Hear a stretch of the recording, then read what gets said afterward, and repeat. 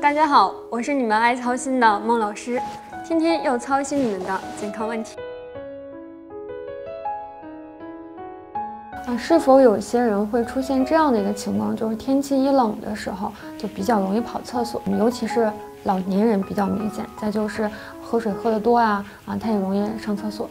这是为什么呢？就一方面，它跟我们这个代谢有关系。你像这个天气热的时候哈，我们的毛孔啊是打开的。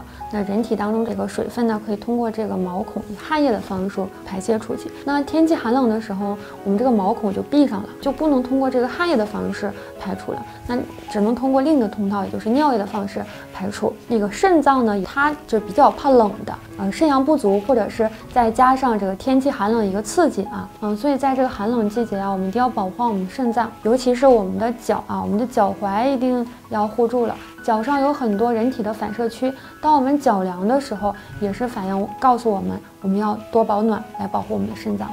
今天关于养生的视频就先分享到这里了。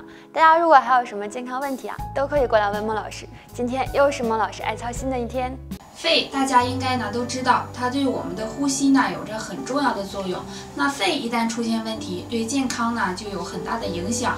啊，那今天就给大家推荐呢两个保护肺部的穴位。首先呢，可以按一按太白穴。太白穴呢就在脚的内侧，第一指骨小头后下方的凹陷处。那这个穴位，为什么能够保护肺部呢？这是因为太白穴在足太阴脾经上，而足太阴脾经呢，其实是经过肺部的，所以呢，通过按摩太白穴，可以呀帮助我们刺激到肺部，有很好的养肺护肺的功效。那刺激这个穴位，可以呢用食指稍微用力的做圈状按摩，以微微感到酸胀痛为度，每天坚持按揉三到五分钟就行。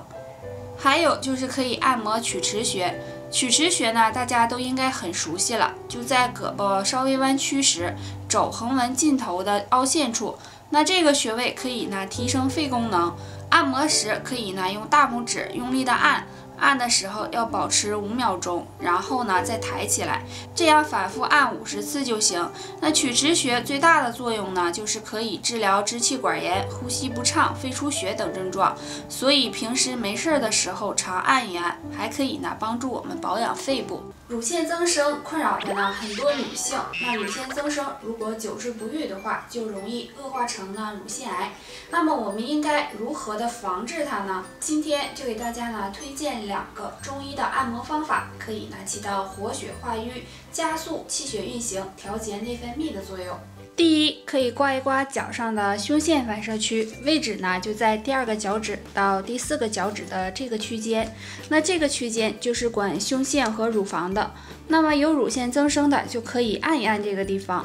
按摩时可以涂点润滑油，然后用拇指从脚趾根往上来回的推，每次推个十分钟左右就行。那这个区域主要是治疗乳腺增生的，如果有受乳腺增生困扰的女性朋友呢，不妨试一试。第二，可以按摩曲泉穴，曲泉穴在我们膝关节内侧。大腿与小腿连接褶皱尽头的凹陷处，那曲泉穴属于足厥阴肝经，而我们呢，很多时候乳腺问题都是肝气郁结导致的。那曲泉穴具有疏肝理气、调经止带的作用。按摩这个穴位的时候，要用两个手同时进行按揉，每次五分钟左右，早晚各按一次，就能够很有效的疏通肝经，对治疗乳腺增生效果很好。那要注意按摩期间不要进食油腻、辛辣的食物，并注意避免着凉。吸烟有害健康，这个我们都应该知道。那当你购买香烟的时候啊，烟盒上面呢就有吸烟有害健康的标识。那吸烟对我们的伤害呀，最大的就是肺了。那除了肺之外，还有哪些危害呢？下面我们就一起呢来看一下。一长期吸烟可能导致血栓，引发各种的心脏疾病。这是因为呢，吸烟的时候会吸入一氧化碳，那一氧化碳呢会降低血液吸收氧气的能力，而香烟中含有的尼古丁会使心跳加快、血压升高、心脏的承受能力减弱，引发呢各种心脏疾病。二吸烟呢会引发多种的脑部疾病，长期吸烟会降低循环脑部的氧气和血液，导致呢脑部的血管出血和闭塞，使智力衰退，引起中风。三、吸烟可能呢导致口腔癌和喉癌。那吸烟时烟中的焦油和烟雾产生的热量。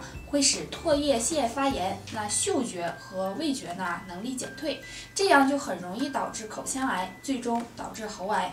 所以，既然抽烟的危害这么大，还不快点扔掉手中的香烟，还自己一个健康的好身？现在呀，脂肪肝、酒精肝、肝硬化等疾病已经啊是常见病了，而肝病的发生都是呢和日常不良的生活习惯有关。那么，想要养肝护肝，就要呢做到三点。第一呢是不要喝酒。酒是肝脏的大敌，不管是什么酒，对肝脏呢都会造成不同程度的伤害。那第二呢，就是尽量少生气。我们都知道生气伤肝，如果一个人呢非常爱生气，那就说明呢你的肝火太旺盛了。第三就是要注意休息，不要暴饮暴食。如果暴饮暴食的话，对肝脏呢会有很大的伤害。还有睡前呢要做到两个不要。不要玩手机，不要吃夜宵。如果呢已经有肝病了，那么在吃晚饭之后要学会静坐，闭目养生二十分钟，这样呢可以护肝消食，对肝脏啊有很好的保护作用。平时呢我们养肝还可以呢推一推肝经，首先呢可以呢像这样推一推脚。从脚背沿着脚缝向脚趾的方向推，嗯，先推左脚，然后呢再推右脚，每个脚呢都要推五十次，然后呢再可以像这样推一推大腿，从大腿根的内侧用力的向前推，嗯，一直呢推到膝盖，也是呢先推左腿，然后呢再推右腿，也是推五十次。所以呢，为了我们肝脏的健康，从现在开始一起呢养肝护肝，这样肝脏呢才能越来越好。大家好，我是你们的好朋友木子。日常生活中，我们一些小的习惯对寿命啊有很大的影响。就像经常运动的人，肯定会比不运动的人更容易生病，寿命啊自然也就长了很多。那么下面这四种啊会使人减寿的习惯，你有吗？一赖床。睡眠充足了，才能够解除疲劳，恢复体力。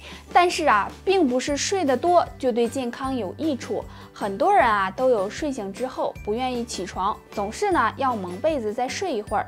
而这样赖床会造成大脑皮质过长时间抑制，导致脑供血不足。而且啊，赖床会影响吃早餐的时间，容易诱发胃炎。正确的做法呢，应该是早上醒来应该先做五分钟之后，然后再起床。二，喝水少。如果呀，等到我们渴了再喝水，这样啊会加速衰老，而且呢，人体缺水还容易损害肾脏和肝脏。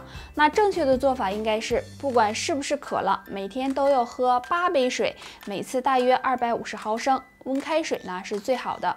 三，不爱笑。经常不爱笑的人，脸上的肌肤的新陈代谢就会缓慢，肌肤没有活力，很容易呢出现皱纹。那正确的做法应该是每天都保持微笑，可以延缓身心衰老。四不运动，现在的人由于工作压力大，越来呢越不爱运动了。而长期久坐呢，会导致颈椎病、痔疮、静脉曲张等疾病。而且啊，不运动会导致肥胖，还会增加糖尿病、心脏病的患病几率。正确的做法，平时啊可以做一做腿部屈伸、仰卧起坐，晚饭后啊出去散散步，或者是进行一些有氧运动。